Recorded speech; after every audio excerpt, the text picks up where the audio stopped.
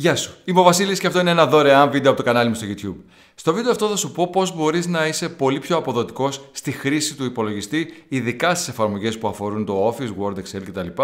αλλά και γενικότερα στον υπολογιστή. Δεν είναι κανένα φοβερό μυστικό, αλλά στην πραγματικότητα, αν προσπαθήσεις να το ακολουθήσεις και θα σου δείξω και κάποιους τρόπους που θα σε βοηθήσουν να μπορέσεις να το ακολουθήσεις, θα δεις ότι μπορείς να εκτοξεύσεις την παραγωγικότητά σου και να κάνεις πράγματα, ειδικά επαναλαμβανόμενες εργασίες και πράγματα τα οποία είναι λίγο, χρειάζονται απλώς χρόνο, πολύ, πολύ, πολύ πιο γρήγορα.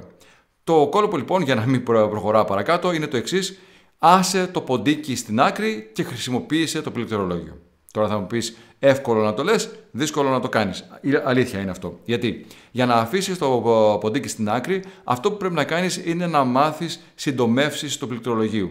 Αυτό είναι κάτι το οποίο δεν θα έρθει κατευθείαν. Αν όμως το βάλεις στο μυαλό σου, αν ξεκινήσεις να λειτουργεί τη λογική ότι ε, μια δουλειά που την κάνω συχνά, αντί να πιάνω το ποντίκι, το κάνω με το πληκτρολόγιο, θα δεις πόσο πιο γρήγορα μπορείς να κάνεις αυτή τη δουλειά και πόσο πιο άνετα και πιο ε, εύκολα στην όλη διαδικασία.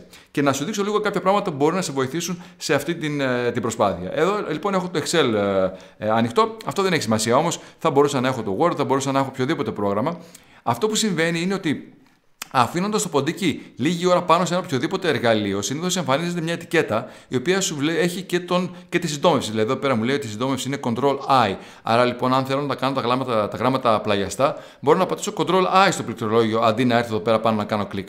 Όσο και αν σου φαίνεται αυτό λίγο, θα παρατηρεί, για την αποδοτικότητα ε, είναι πολύ σημαντικό να μην χρειάζεται να αφήσω το, τα χέρια μου από το πληκτρολόγιο, να τα πάρω το πληκτρολόγιο και να τα πάω στο ποντίκι και να γυρίσω πάλι πίσω. Είναι πάρα πολύ σημαντικό να μπορώ να κρατάω τα χέρια μου στο πληκτρολόγιο. Αν δηλαδή μπορούσα να μην, να μην χρησιμοποιήσω καθόλου το ποντίκι, η αποδοτικότητά μου θα έφτανε στο 100% στην πραγματικότητα. Εντάξει, δεν γίνεται ακριβώς έτσι, αλλά τέλος πάντων προσπαθούμε κάποια πράγματα να τα κερδίσουμε. Εδώ λοιπόν το πράγμα είναι απλό. Ε, αντί να κάνω κλικ εδώ πέρα, αν πατήσω Ctrl I στο πληκτρολόγιο, βλέπω τα γράμματα εδώ πέρα ότι έγιναν πλαγιαστά. Okay, αυτό είναι σχετικά εύκολο. Ε, αυτό γίνεται παντού. Δηλαδή, εδώ πέρα, ας πούμε, για την αντιγραφή μου λέει ότι είναι Ctrl C.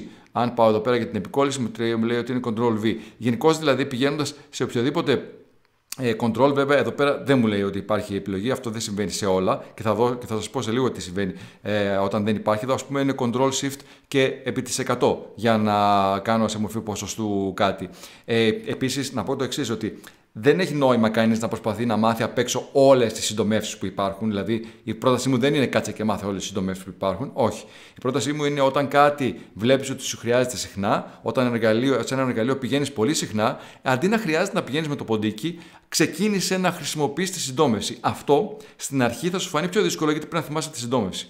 Όμως πολύ σύντομα η συντόμευση θα, έρθει, θα έρχεται πολύ εύκολα στο μυαλό σου γιατί θα τη χρησιμοποιείς πολύ συχνά, με αποτέλεσμα να κάνεις τη δουλειά πιο γρήγορα. Και στις περιπτώσεις που δεν υπάρχει συντόμευση, ειδικά στις εφαρμογές του Office, υπάρχει ένας άλλος τρόπος με τον οποίο μπορεί να γίνει αυτή η διαδικασία. Παράδειγμα, ε, ας υποθέσουμε λοιπόν ότι, για πο, ότι χρειάζεται πολλές φορές να επιλέγω ένα κομμάτι του, των κελιών μου, ας πούμε, τώρα μια που είμαι στο Excel, και κατόπιν να πηγαίνω εδώ πέρα στα περιγράμματα και να βάζω ένα παχύ κάτω περίγραμμα. Α πούμε δηλαδή ότι αυτό είναι κάτι το οποίο το κάνω πολύ συχνά και χρειάζομαι αυτή τη διαδικασία. Οπότε από το να κάνω κλικ εδώ, που είναι και ένα σημείο που είναι μικρό και πρέπει να το πετύχω, και να πάω να πατήσω το κάτω περίγραμμα, μπορώ να χρησιμοποιήσω μία συντόμευση. Δηλαδή, θα επιλέξω την περιοχή που με ενδιαφέρει και εδώ τώρα γίνεται το εξής πράγμα. Πατάω μια φορά το αριστερό alt στο πληκτρολόγιο και το δεξί μπορώ να πατήσω. Ε, βέβαια, η αλήθεια είναι ότι σε παλιότερες εκδόσεις του Office λειτουργεί μόνο το αριστερό alt. Οπότε, γενικότερα, άμα δείτε ότι το ένα alt δεν δουλεύει, χρησιμοποιήστε το άλλο.